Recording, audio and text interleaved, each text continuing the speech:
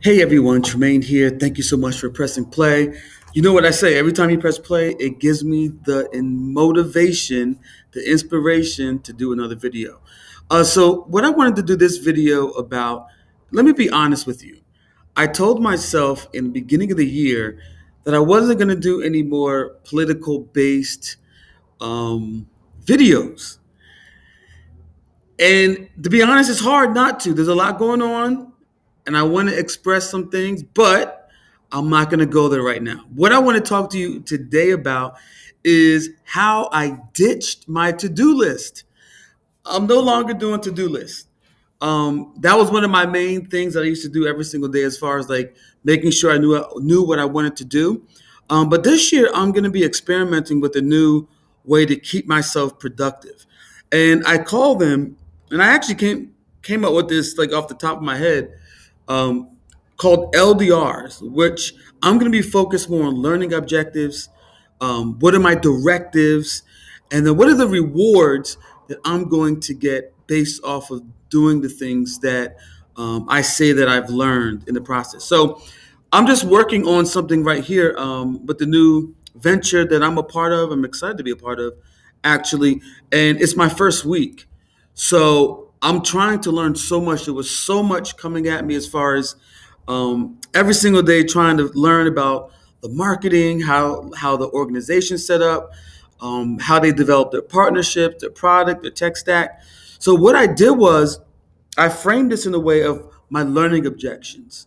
So just to give you, a, a for instance, um, I look here like uh, for marketing, building an effective campaign, campaign that converts to book meetings um, to book meetings. So that's a learning objective for me. So then what I do next is I start to list out my directives.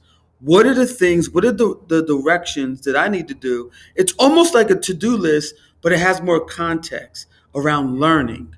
And for me, um, it seems like when I just do a regular to do list with tasks, I get demotivated very quickly.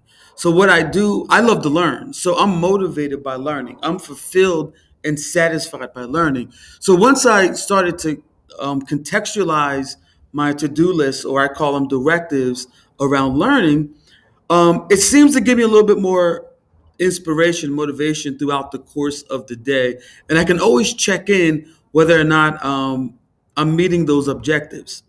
And then the one I like the most is rewards. Uh, these are the things that the outcomes for learning and actually hitting all your directives. Um, because you always want to know if you're going to put the work in, you want to know what you're going to get out of it.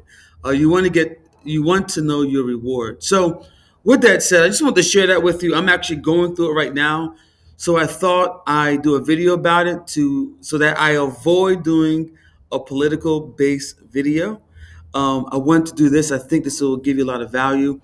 Um, I will be hanging out in the comments for a little bit. If you want to talk to me about what you do in terms of keeping yourself productive and motivated, um, especially with everything going on, and that's why I really I had to ditch my my to do list because I needed to level up because there's so many distractions.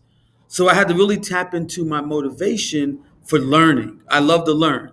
So I came up with this to help me to do that very thing. So I'll be hanging out in the comments. Please let me know. Give me some feedback. I love when you all interact with me. It's always great. Um, with that said, have a good weekend.